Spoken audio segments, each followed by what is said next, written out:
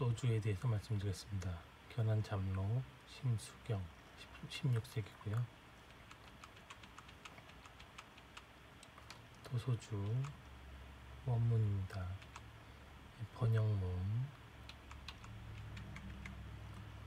설날 아침에 도소주를 마시는 것이 옛 풍습이다. 젊은이가 먼저 마시고 노인이 뒤에 마시는데 지금 풍속은 또 설날 아침에 일찍 일어나서 사람을 만나면 그 이름을 부르고 그 사람이 대답하면 나의 허술한 것을 사가라 하는데 이것은 자기 병을 파는 것으로 재앙을 면하고자 하는 것이다.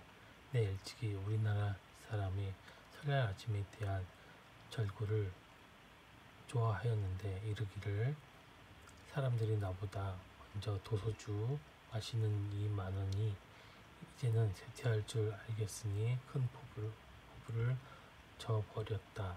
일마다 병을 파나 병은 끝나지 않으니 그대로 옛 나를 가지고 지금의 내가 될 뿐이네 라고 한 것이다.